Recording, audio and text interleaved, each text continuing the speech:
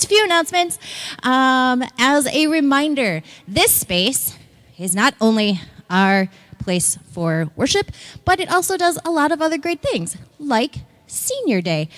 Um, so, in June, July, and August, first Tuesday of the month is Senior Day.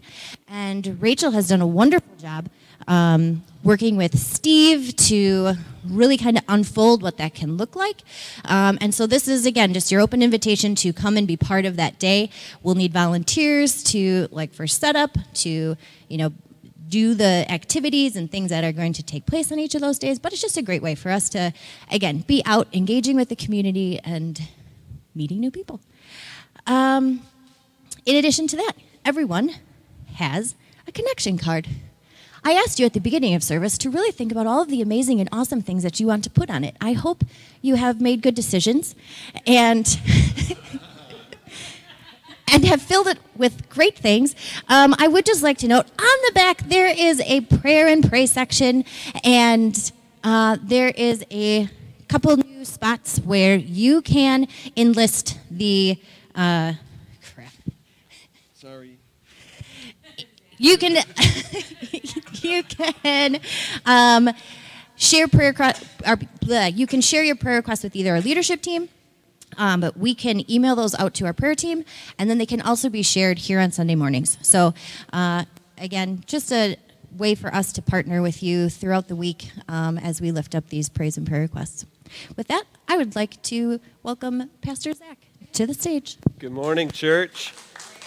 Um, gosh, you know, like God does things, and you're like, oh, it's just going to be a regular Sunday, right? And and I wasn't having the best of Sundays because just insider knowledge. So I've been doing a lot of just like t- troubleshooting of sound and like I want to make sure that this experience is the best we can uh, all the time. That's kind of the goal. Um, and it every once in a while like there's a, a little snag and then like I'm not able to do much other than just like sound or video or fix stuff. And then I get to this point and I'm like, okay, uh, well, I haven't really thought about the message at all, and I haven't really talked to anybody yet. So, sorry. Uh, and then today, I was like, okay, just sit down at the piano, just just get your stuff done, and then you'll preach, and then you'll be done today. And then, um, so I, I, was over here, and I, and this this statue is sitting on my on my seat. Um, and I was like, all right, which one of you goons put this on my seat? Like that's that was my feeling inside, right? I'm like, okay, that maybe because I'm grumpy, and I, so I put it down. That's what I thought. Um, and then I sit down. It's like 10 o'clock, right? And I see Sarah sitting. So I'm sitting here, and then she goes like this, and I go, what? So Pam and Alan, I just want to introduce you. Um, these are like two of my closest mentors. Like they grew up, like I grew up in this small church in Mishawaka, Indiana, and they've been like members. How long have you been members there? 50 years, right? Like, so these people, like, were there when my family first got there. I, my family was basically grow, grew up in that church. Alan talked a little bit about it. I started a worship service with my friends in that church, um, and I stood next to Alan um, in our church choir for like six years, our adult choir for six years. Um, and just so that you all know, I don't know if you know this, but we just got done with uh, our sermon series in the book of Luke. Um, and in my confirmation, um, Alan and I walked through the book of Luke together. Like that was really the first experience that I had with like walking through the gospel before. Um, so it's crazy. It's just crazy that they're here. And then Pam was my boss for a little while when I was working at camp. Like it's just these people are the best people. Um, just thank you for being here, um, and for everything that you guys have done. I appreciate it. Um, the gargoyle statue. I is this the one that I gave to you?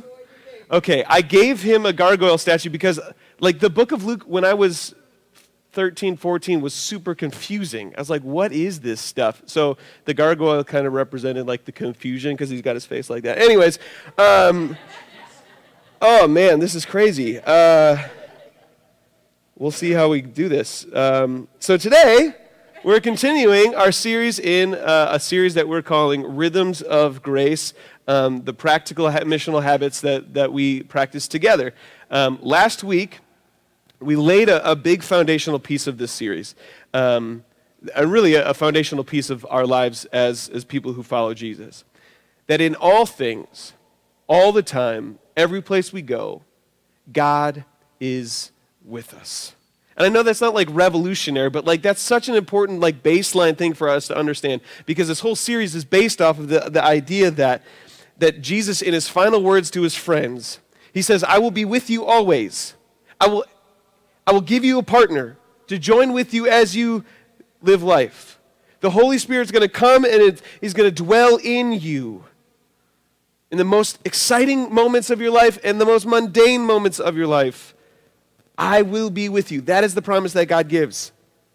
And then, if this is true, and this is the question that we asked last week if this is true, if God is always with us, what happens then if we see that everything that we do can have a missional impact? We talked about, we've been talking about for a number of months, we want to be a different kind of church. But really, for us, we have to lean into the idea. It's not different. It's not like we're trying to like do this revolutionary way of doing church. It's like how can we be more intentional about living the everyday stuff the everyday mundane tasks and leverage them for gospel intentionality? If god is with us in all things what would it look like if we were intentional about using everything every task every routine every rhythm in our life? Rhythm of the night Last week, Sean asked for that song. This week, we had to make sure it popped in. What happens if we use everything in our life so that God would be known and that the gospel may have the opportunity to make an impact in us and through us? Because based on our understanding of the Great Commission that's found in Matthew chapter 28, this is what we have. We are called as the body of Christ to do something with the grace and the mercy and the forgiveness and the love that God has extended to us through what Jesus did in his life, in his death, and his resurrection. We are called to do something. We're called to respond. As the church, as individuals, we're called to do something, but if you look from the outside in, if you look at our church or just a number of churches, a lot of our habits, seem to point inward. We gather on Sundays because it's good for us, it's good for our souls. Some of our friends are here. It starts our week off right. We sing songs that we like to sing. We give praise to the God that we worship because, because in all of that we feel more connected to the divine. We give money because someone's got to pay for the coffee we drink. Someone's got to take care of all the sound stuff in the bus. Someone has got to pay the staff at the church. Our churchy habits, they bind us together, which is good. Our, our habits, they connect us more deeply to the God that we've, we talk about here on Sundays, that we hear about uh, through our, our Bible studies, through, through our songs, which is good. But from the outside looking in, our churchy habits, they can seem inwardly focused. And I think that's what the world has begun to expect from us. That, that what you do in that building is what you do in that building, and really that's great for you, and you can experience that, and, and if, that's, if that's great for you, that's fine. But really, that's everybody, what everybody expects. Our churchy habits seem to be just for church. From the outside looking in, what we do here Though we proclaim the mission of Jesus to go, our habits tend to speak otherwise. Which is why I'm intrigued by the premise of the book that we've been using to anchor the series Surprise the World Five Habits of Highly Missional People. If the world expects the church to be inwardly focused, but experiences people who are focused on the Great Commission of Jesus, people who are intentionally leveraging the everyday things of life for the sake of the building up of the kingdom, what would the world think? What happens when the world expects us to do churchy things in a building like this, yet experiences grace and love through Jesus in everything that they see us do? That's why Frost titled his book Surprise the World. What happens when the church thinks differently about being the church? What happens when the church is more intentional about using the everyday tasks, the everyday rhythms of life to proclaim who God is and what God has done? What happens when the church isn't just about adding programs or doing Bible studies just in hopes to bring people in? What happens when we use the everyday things of life to extend grace in a world that lacks grace? What happens when the body of Christ stops saying that we go to church on Sundays and starts instead living into the potential that the church has to be the church in every single moment of every single day. And that's the premise of this book. That's the premise of this series. That's the premise of the five missional habits that Frost introduces. He introduces five habits that propel us not just to be the church, but be the church in the world. He introduces these five habits to help us learn missionally, live missionally, so that we might start to think missionally. The habits he speaks to foster a lifestyle which promotes a different way to think about the mission of God in the world. Throughout the book, Surprise the World, which, if you haven't picked one up, we do have 10 more copies. So we got rid of all of our copies last week. We have 10 more copies. We're asking $5 or less a book. That's all they cost. So if you want to take one, you don't have $5, just take one. It's not that big a deal. That's our gift for you today. Um, but they'll be available. Are they at the coffee bar? Eh, cool. Um, if you need a book, pick it up. And the, it's, we want you to have one of these, and we'll keep buying them as long as people want them. So you want them, we'll, we'll get them. But throughout this book, Frost unpacks five habits. These five habits bless, eat, learn, listen, sent. And we're going to discuss in the next few weeks that, that these things aren't meant to just add busyness to our already busy lives. These five habits have the potential to become patterns of how we are the church, how we might become more intentional about living out the mission of Jesus every day, in every moment, not just on Sundays. I'm excited to see what's going to come. I'm also very nervous because I know that if I tell you that we have to do this, I also have to live this out in my own life. And I know how long it takes me to adopt a new normal in my life, to, to do different practices, right? To, to, to practice what we're preaching, is essentially what I'm saying. It's hard for me to do that, but that's what we're here to do. You read your banner when you walk through the, the doors. We'll be on our buses when we get them wrapped, is practicing the ways of Jesus together. Because that is who we have to be as a church. And I'm not necessarily saying like tomorrow you're going to be like this rock star missional person. If you read this book, you're going to be like the best missional expert in the world. I'm not saying that. What I'm saying is, what we're talking about here in this space, and what we're really trying to be in the world, is we're practicing these, the ways of Jesus together. Are we going to struggle with some of this stuff? Yeah. Some of these habits you might already do, but some of this stuff is going to take work for you to do. I want you to know that our intent through this series and beyond this series is to create a culture where we're lifting up, practicing the habits, and extending grace to one another. We're working toward creating a space here in this space, in our leadership teams, in our, in our, in our office. We're, we're trying to create a space to fail. We're trying to create a space where we can be vulnerable. We're trying to create a space where we can speak to where we need help from one another. We're trying to, to practice the, the extending grace to one another because we know that this world is like deadlines and bottom lines and it's hard. But we don't work in a world of bottom lines with, with the church. That's not, our bottom line is not money. Our bottom line is walking alongside people, walking people alongside Jesus. That's a whole different ballgame. And if we think the way the world tells us to think, we're going to be like, no, it's this program, it's this thing that we have to do, it's, it's this place where we have to go, it's, it's making sure all the video's right, right? But that's not us. That's not who we have to be here. Here we practice the ways of Jesus together. And that's why we are leaning into this series. With that, uh, we're going to talk about the first of these uh, habits to bless. Um, you'll find this in Frost's book. And a couple questions that we have to address before we're going to send you with a challenge today um, that comes out of Frost's book um, is two questions. The first is, what is a blessing? And the second is, what does it mean to bless? The word bless is kind of a weird word. I feel like it's a, like, for me, in a lot of ways, it's synonymous with the word lucky. Like, if, I'm dealing with church people, like, oh, you are so blessed in that situation. If I'm working with non church people, it's like, oh, you were super lucky in that situation, right? You see the difference there? Like, I just, I just bought a car, right? For a really good deal from a really good church going guy. And church people would say, God showed you favor, God blessed you with a guy who was a Christian, and God showed you favor with the deal that you got on the car. While my non church going friends would say, man, the market was really good at this time. They were trying to get rid of cars at the, at the beginning of the month, whatever. And, and the guy you were dealing with, man, he, he'd only sold one car in the last two weeks. He was, you got lucky. I mean, usually for me, that's how I wrestle with the word. It's either luck or favor.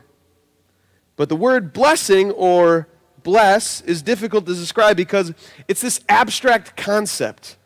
There's not a clear way of talking about it. At least in our language, this is the case one word that can take on many meanings. But in Scripture, the word bless that shows up many times is different based on what the origin of, the language is. In the New Testament, we see two words for the word bless. The, the first is barach, which is a verb, and the second is ashar, which is an adjective. I want to come back to barach in just a second because I think this is where Frost comes at uh, the word blessing um, and gives us action steps. But the second word, uh, ashar, which translate for us to, to, to mean happiness. So in Job chapter 5, this word ashar or blessing comes in there. Blessed is the man who, whom God corrects.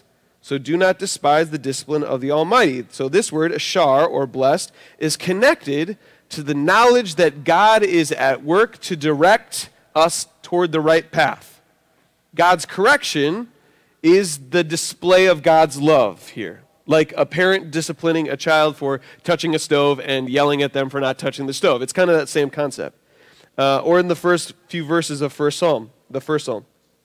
Blessed is the man who does not walk in the counsel of the wicked, or stand in the way of sinners, or sit in the seats of mockers, but his delight is in the law of the Lord, and on his law he meditates day and night. He is like a tree planted by streams of water, which yields its fruit in season and whose leaf does not wither. Whatever, whatever he does prospers. So in the book of Psalms, this, this reference is kind of that happy blessing for those who love and fear the Lord. We're going to jump to the New Testament, and there are two more words. These, so those two words are, are Hebrew words. These two words are Greek words, makarios and eulogio. So the first one of the Makarios is found in Matthew's Gospel, chapter 5, what's known as um, the Beatitudes, where we hear, Blessed are those. So these are the words Blessed are the poor in spirit, for theirs is the kingdom of heaven. Blessed are those who mourn, for they will be comforted. Blessed are the meek, for they will inherit the earth. Blessed are those who hunger and thirst for righteousness, for they will be filled. Blessed are the merciful, for they will be shown mercy. Blessed are the pure in heart, for they will see God. Blessed are the peacemakers, for they will be called children of God. Blessed are those who are persecuted because of righteousness, for theirs is the kingdom of heaven. Blessed are those. Blessed are those. We hear that over and ago, over again. So this is kind of like the next step to the, the ashar, that, that Old Testament word. Uh, it's, it's happiness, but it's happiness found in the purpose and the fulfillment of God's promises. Does that make sense? So it's, it's like a, an extra step beyond what the Old Testament word is. So the second word in the New Testament for blessing is the word eulogio, which focuses more on good words or a good report that someone gives of another person. So if you think about the root of that, right, eulogy, that's kind of the same concept. At a funeral, someone gives a eulogy, focuses on the good things of their life, right, um, the impact that a person has made. Um, this kind of blessing is pointing out, is highlighting good things.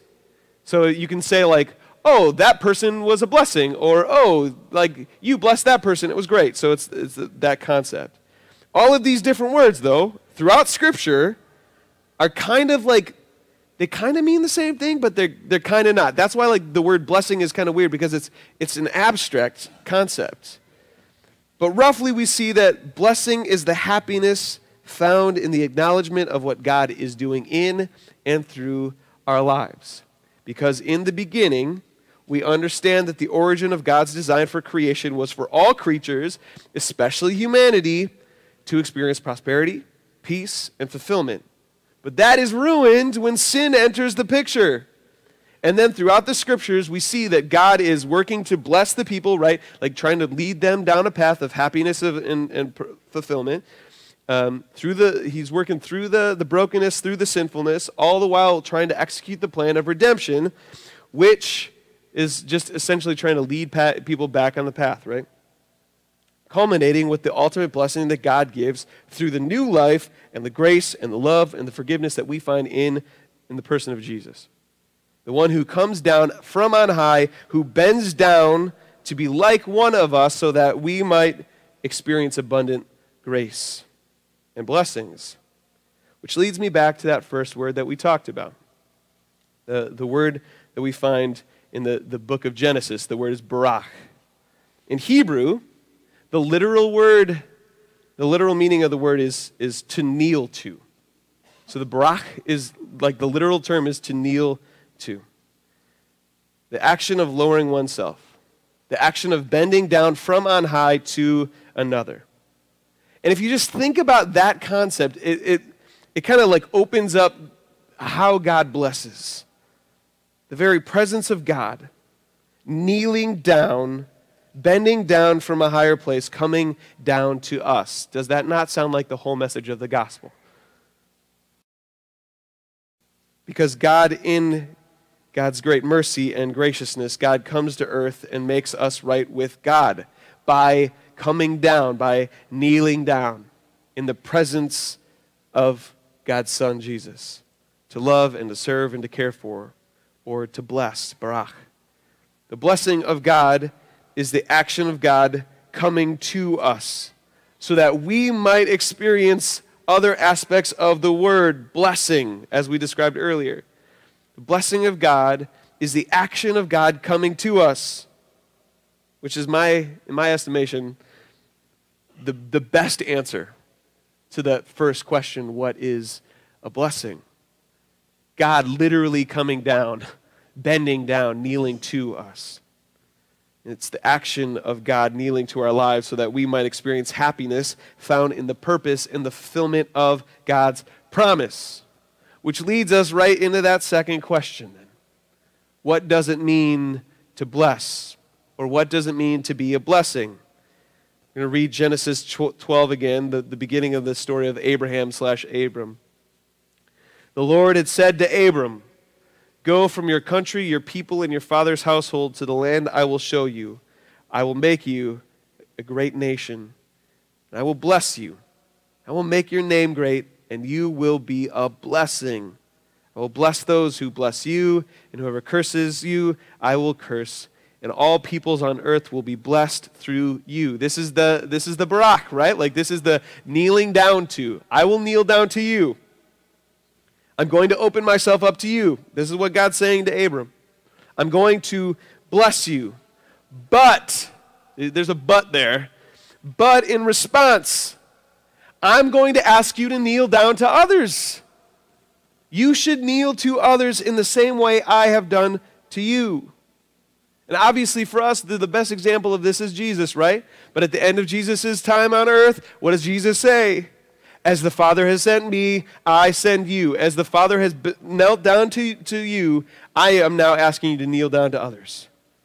As the Father has called me to love you, to care for you, to forgive you, to serve you, to come down from on high for you, to kneel to you for you, to make this all right again. So, so now I ask you to do the same.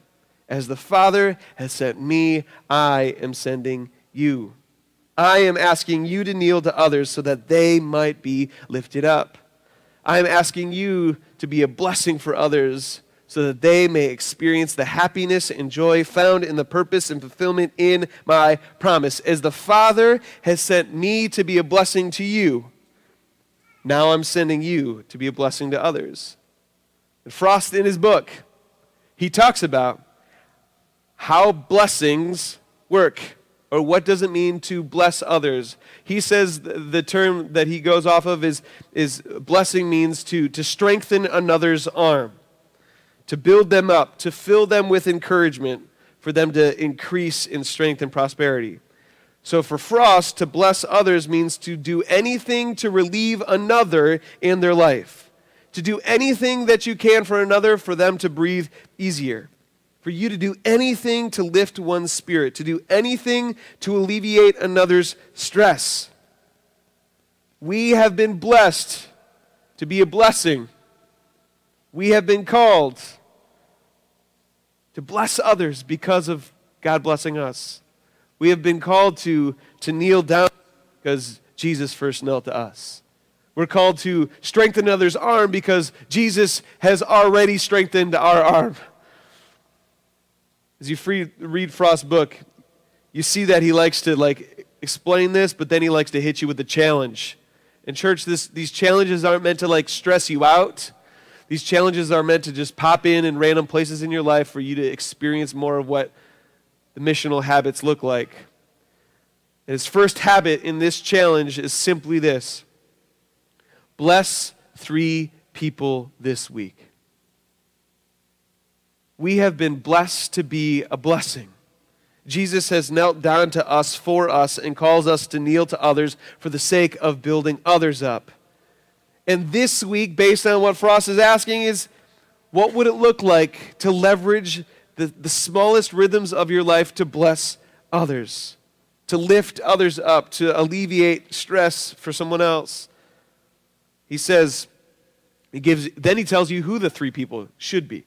I mean, he makes it really simple. The first person, somebody sitting around you here today. Like, uh, somebody just did that. Who was that? I heard like, oh. I'm like, yeah.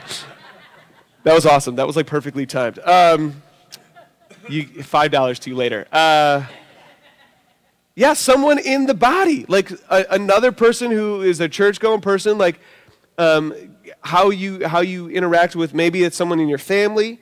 Um, one person, though, maybe sitting in this room or in your family, one person is one of the people that you bless. The second person you bless, Frost says, is not a believer. Someone who does not go to church, someone who, who maybe is doubting this whole church thing.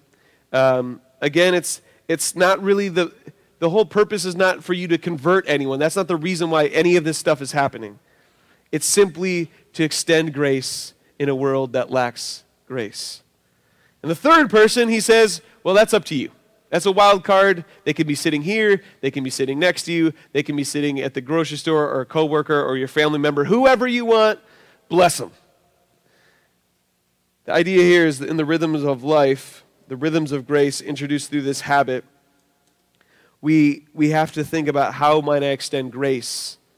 How might I bend my life for the sake of others?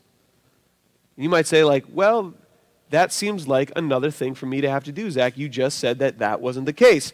And you, that's kind of true. It is, it is that, but it's also at the same time thinking and, and living out a more intentional model of ministry.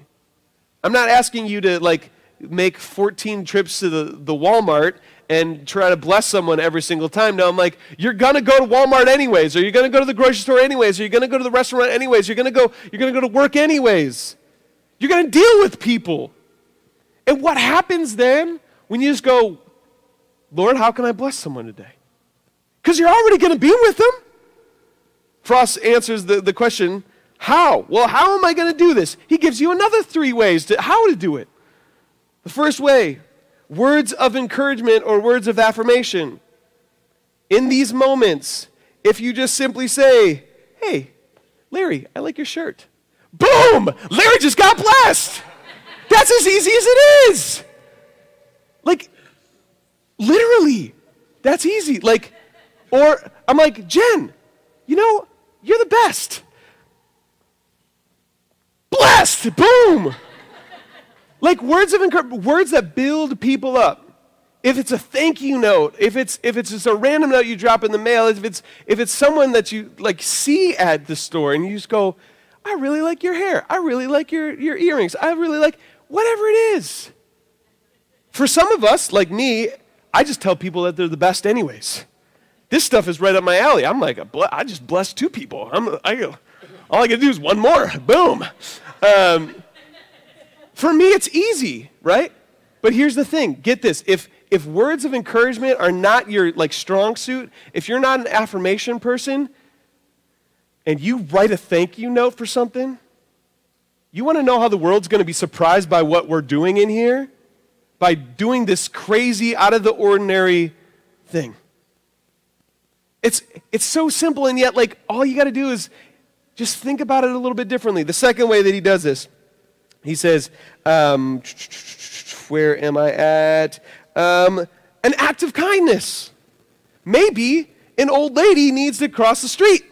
Or maybe you're seeing a coworker at work who's just incredibly stressed by the workload and could just simply use another set of eyes on a project. Or maybe you have a family member who has been burdened with illness or ailment who could just use a set of hands. A blessing here is, is simply providing practical assistance. The third how Frost suggests you can bless someone is through a gift. Maybe a meal for a family who's been dealing with health issues. Or maybe it's a Starbucks card like the McCarthy's gave to me last week. You guys, that was last week's blessing, not this week's. Um, sorry. Uh, I, that wasn't meant to embarrass you. I apologize if it did. Anyways, um, Rachel was telling me a story about this. Hunter, I see you, buddy. Um, Rachel was telling me this week, this week? This last week, they came home and there was like a picture frame with all of the newspaper articles that from Hunter's swim season. Randomly, right? Drop there. You want to tell, talk to me about how bless, you bless people that way? Like, it, means so much when it's, it's really like random thoughts of, of a gift, right? It's a, a thought gift. Like, how can, I, how can I give something to someone that they're not necessarily expecting or they don't really know? Like, again, some of us are really good at gift giving. Others of us like have to struggle with it. And if you're really good at words of affirmation, like try to do the gift giving. Don't let yourself off the hook like I just have this morning. Like I'm going to bless three people by the time I walk out, right? I'm going to yell to my friends on the lake, be like, "Guys, go get them fish," right? Like I'll be done right away. But for me it's going to like how can I do those other things? But this week three people one member of our church, one person who's not a Christian or is not churchy, and one is the, la- is the wild card. I think I've said a lot today that seems really simple. Blessing people is the foundation of who we are as the church. But it's really easy to take for granted the power each of us has been given to extend grace through our words and our actions in the everyday stuff of life.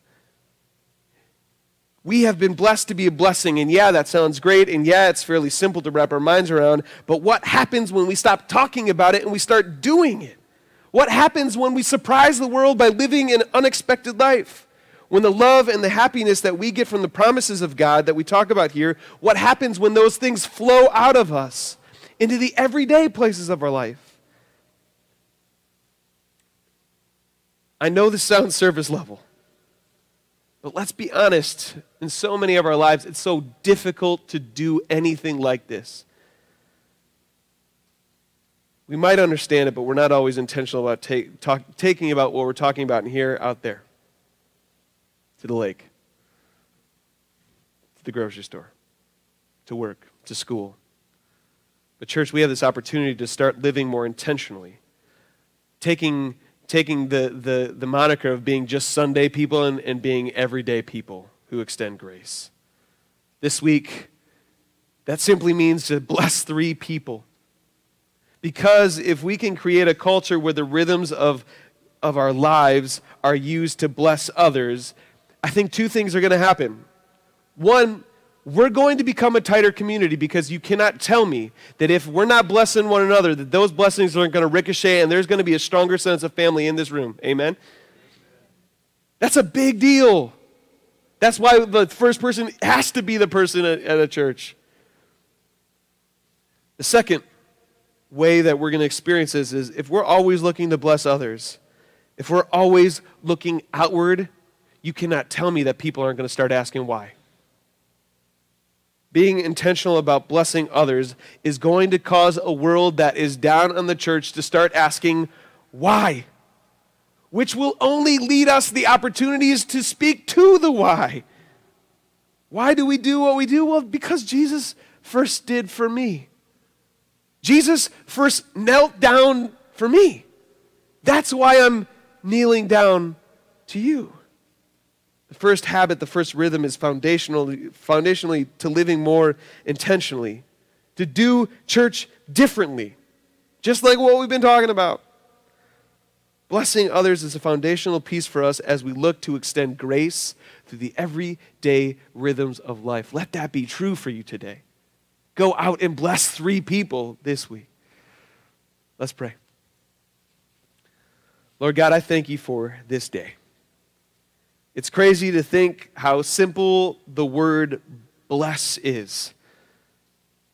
But with it just comes an incredible understanding of how you work. You knelt down you subjected yourself to becoming like us so that we might know you better, like a parent with a child. You knelt down to help us understand more of who you were and, and what you're doing. You kneel down to where we are so that we might see you face to face, that we might know you more. Lord, I'm just so thankful for the actions of your blessings on our behalf, Lord. We don't deserve it, but you keep showing up through the words of encouragement and affirmation in our lives, through acts of service of other people for us, through gifts, thought gifts. You show up all the time and you bless us, you kneel down to us. Lord, I just ask you that make us people like you. Mold us to take similar positions, kneeling to others so that, that others may be filled up and encouraged. Work in us, each of us, as we walk the path of blessing others open our eyes, open our hearts to the places where we're going to be called this week, to the ways that you're calling us to bless one another and to, to bless everyone we come in contact with. Give us wisdom and discernment. Grant us courage and strength to rise to the challenge of kneeling to others for their sake. Because we want to surprise the, the world, Lord. We want to extend grace in this world, Lord. We want to, to live out our lives with gospel intentionality, Lord. We want to use the everyday tasks and places in this world to extend your grace through our lives. Lord, we love you so much. We give you all the thanks and praise. We ask all of this in your Son's name.